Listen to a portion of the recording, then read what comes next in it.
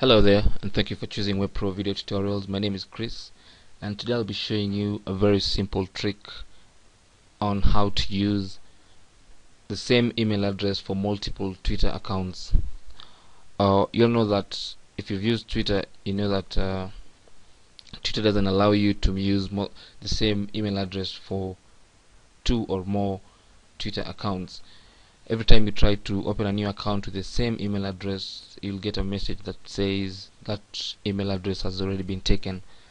Now there's a way you can trick Twitter using Gmail accounts and this has to be Gmail because Gmail ignores periods in a, Gmail username. For example if my Gmail username is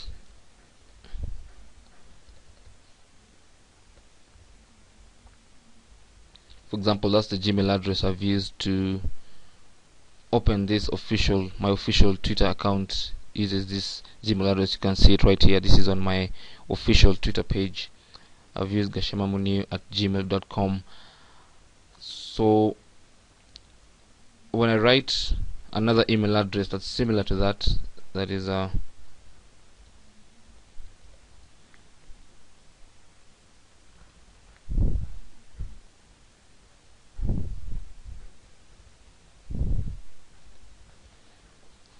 uh, you can see this email address is the same as this save for this period between A and M. Is a, a, full stop sign or a period so to speak between A and M uh, which is not here. So that's the only difference. But according to Google according to Gmail uh, these two are the same email address. Every time somebody sends an email to this address it will appear in this mailbox. So that's how you can trick Twitter because according to Twitter these are two different email addresses but according to Gmail it's the same. So you can use this email address to open another Twitter account and all the email sent to this address will pop up in the first mailbox.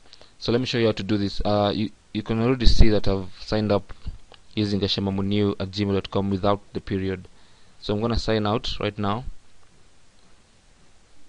and uh, sign in to and sign up another account using Ashema with the, with the asterisk. Sorry with the uh, with the period. Sorry. Uh so I'm gonna so I'll uh, sign up another account right now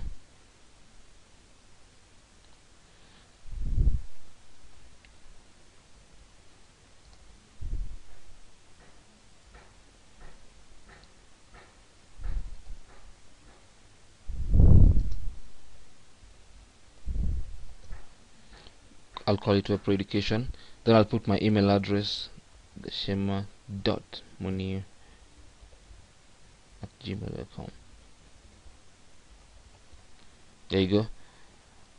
You can already see that it says we will email you a confirmation. It means this email address is available whereas the one without the asterisk is not available and uh, according to Gmail these are the same email addresses. So that's how you can use the same email address to sign up to more one to two or more uh, Twitter accounts. You can use an asterisk anywhere in this email address. You can put it here. You can put it at the end anywhere within the username. And uh, Google will consider it as the same because it, it, it ignores the, the period within the username that's how you can use the same email address to sign up for multiple Twitter accounts. Uh, thank you so much for watching. My name is Chris and don't forget to subscribe. See you guys later